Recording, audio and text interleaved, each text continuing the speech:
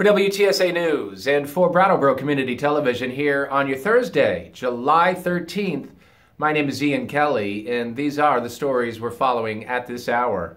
Vermont state officials are urging Vermonters to not lower their vigilance following devastating flooding. Vermont Public Safety Commissioner Jennifer Morrison says more flooding is a very serious possibility. Morrison says there have so far been no reported fatalities from the disaster, Officials say there have been more than 200 rescues so far in this storm and 100 evacuations. Right now, Lamoille County is the focus. There were dozens of rescues there overnight. Numerous communities are under boil water notices. A list of impacted water districts can be found on the Vermont Agency of Natural Resources website at vermont.gov forward slash flood. Widespread flooding in Vermont has caused many basements to fill with water and in some cases caused a release of oil from heating oil tanks in the basement. The Department of Environmental Conservation says if oil or petroleum is found to be floating on the water in basements that need to be pumped out, please report to the following phone number, and that number is 1 800 641 5005. That's 1 800 641 5005 during the workday for pumping out.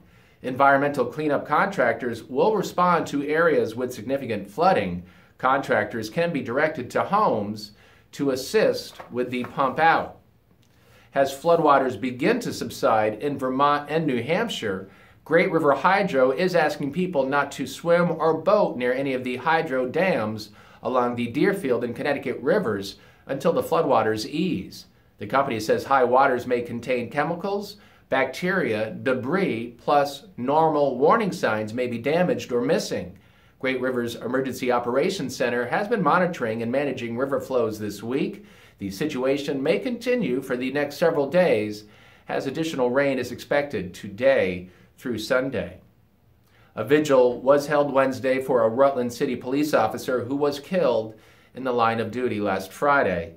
Hundreds of people filled the streets outside the Rutland Police Department to remember 19 year old Jessica Ebbighausen. She was killed Friday when police say a burglary suspect was trying to get away and hit Ebbighausen's cruiser directly head on. Ebbighausen's funeral will be held Tuesday, 10 a.m., at the Castleton University Pavilion. Parking is limited and carpooling is encouraged. WTSA Sports, Major League Baseball's second half of the season starts back up tomorrow following All Star Game festivities in Seattle. The Red Sox will be in Chicago Friday to start a series against the Cubs.